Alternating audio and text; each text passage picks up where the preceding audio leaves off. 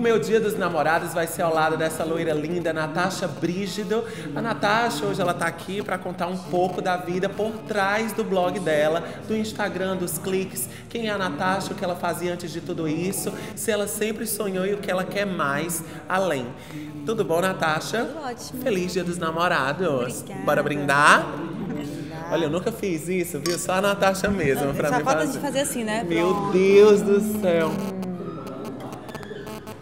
Ai, Começar logo romântico. Tá muito negócio. maquiada pra mim, viu, Natasha? Você trabalhava com quê? Você é filha de quem? Quem é Natasha sem ser Brígido? Certo. É, minha formação é psicóloga, eu até já, já falei para algumas pessoas, já coloquei em algumas matérias. Sempre gostei muito de ler revista, a minha mãe e minha avó já tinham esse hábito, revista de moda, e aí aqu- aquelas combinações e tudo. E aí que acabou que um dia eu estava mexendo no Yahoo e eu vi uma matéria da Camila Coutinho, exato, a Camila Coutinho, eu não sabia nem o que, que era esse mundo de blog, nem conhecia nada. E me chamou a atenção porque eu vi que era uma menina que era comum, não era uma artista da Globo, Nem não era super bonita, né? é, mas, mas foi mais a questão do acesso mais fácil, de qualquer pessoa estar naquele lugar, entendeu? Não era um modelo, não era um- uma coisa assim, muito distante da realidade. Era uma menina comum que tinha um- uma facilidade de escrever e conseguia traduzir o gosto dela para falar. Eu começava a falar para todo mundo, ai, tu não sabe, tu já conhece, tu conhece o blog tal, tu conhece isso daí, conhece tal coisa. E as pessoas começaram a me perguntar o porquê que eu não colocava um blog. E Isso tu tinha quantos anos? isso foi há, há uns cinco anos atrás, mais ou menos, né? Porque, que quando- porque eu não colocava, eu falei assim, não, quem é que vai querer ouvir alguma coisa que eu tenha, ou ler alguma coisa que eu tenha para escrever? Aquilo ali ficou longe da minha realidade. Só que eu gostava, por exemplo, de fazer misturas inusitadas com as peças de roupa.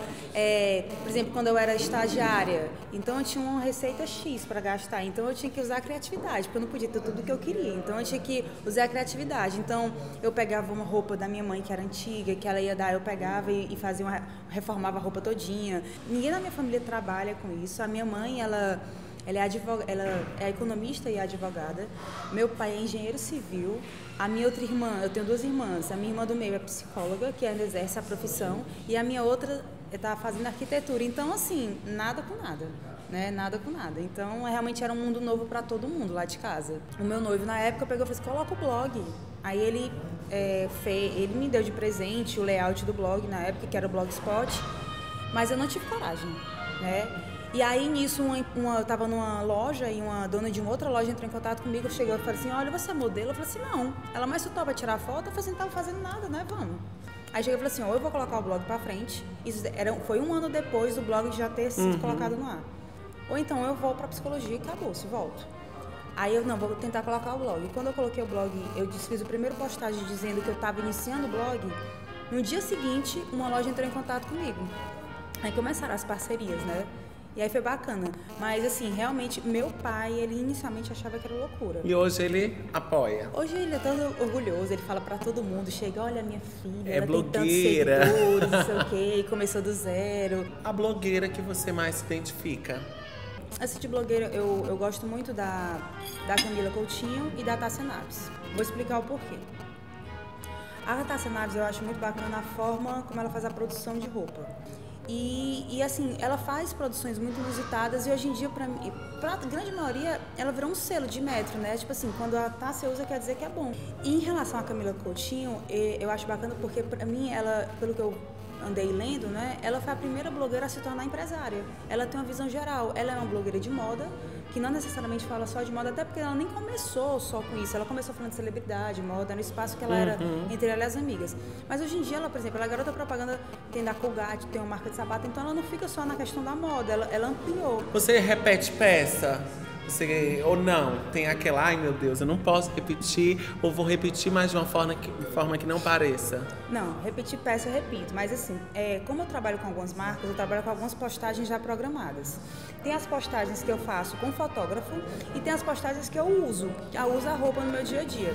Aquela roupa não é minha, mas eu vou usar, mas eu- são roupas que eu escolhi, que eu compraria, que realmente são do meu estilo. Uhum. Nenhuma roupa que eu uso é porque a marca eu quero que você use, não. Sempre é uma escolha que vem de mim. Eu tenho um short jeans que ele já apareceu milhões de vezes, sabe? Às vezes no Instagram nem tanto, porque às vezes eu acabo não tirando foto.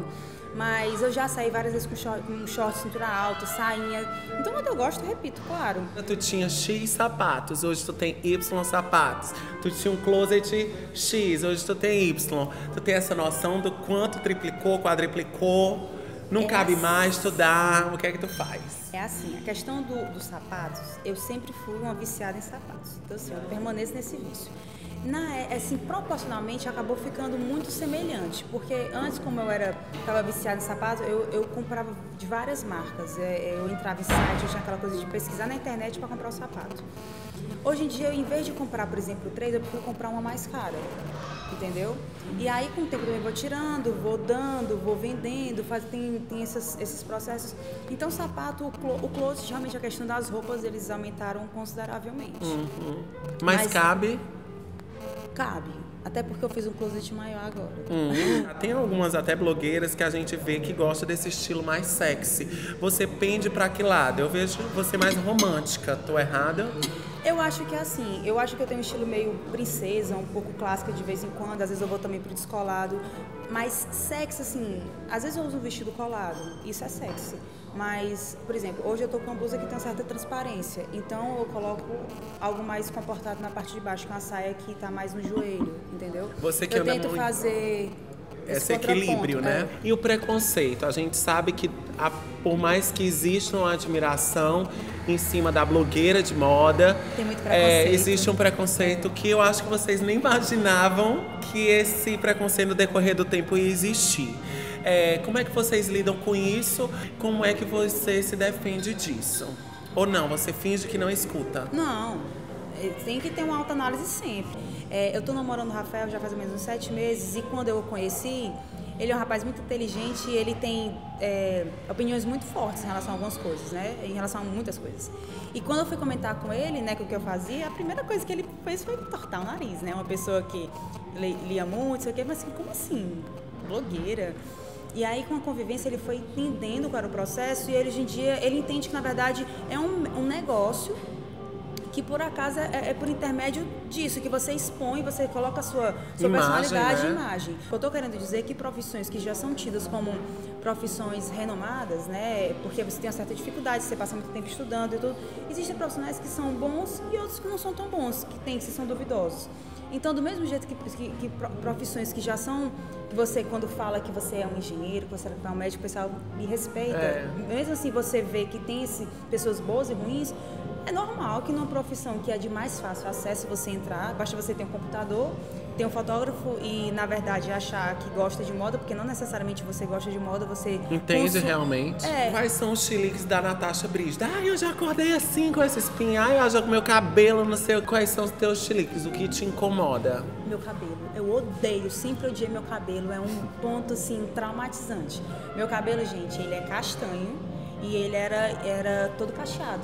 Não aqueles cacheados que me prende aqui, era aquele liso que cacheava na ponta. O pessoal no colégio ficava botando o dedo, assim, nos cachinhos quando eu ficava sentada, né, na aula. Então, assim, aí eu sempre quis, desde criança, não sei porque eu queria ser loura do cabelo liso. Cá estou, né? Só que o louro detona o cabelo. Então, meu cabelo, por exemplo, meu cabelo natural, ele tá bem aqui, né? Natural que eu falo assim, sem um aplique. Mas eu, por que, que eu uso aplique? Porque me dá mais mobilidade nas fotos. Eu consigo fazer penteados, eu consigo fazer um rabo de cavalo, eu consigo fazer um coque, que vai me dar mais volume, né? E, e o longo eu acho que deixa mais charmoso. Hoje você se arruma já sozinha, maqueia? Tipo, Não. hoje veio pra cá, pa- tem que Não. passar no salão? Não, eu tava começando a ser escrava de salão uma época. Só que eu tava ficando muito montada. Não parecia ser de verdade, parecia uma boneca. E muita gente chegava pra mim falando isso e tal, mas eu não tava dando ouvido porque eu não queria escutar. Mas depois eu vi, e depois com o tempo, o, o, o tempo começou a ficar mais limitado. Quando você vai pro salão, você demora muito, né? Pra fazer um cabelo, pra fazer um cabelo, uma maquiagem, você demora às vezes duas, três horas. Então você perde muito tempo fazendo isso. Agora, fora se vestir, bora para o âmbito, Natasha está prestes a morar junto e tal. Você é uma boa dona de casa, você gosta de varrer casa, passar pano na casa, lavar. Cozinhar, costurar o botão da blusa do, na, do namorado. Antigamente eu, eu nunca fui, eu não sou fã de lavar a louça. Eu vou dizer assim, ai, eu amo lavar esse prato, esses facas. Não amo, não amo. Mas assim, Minha alguém, unha. alguém tem que ser feito, né? Então acontece isso no dia a dia, óbvio.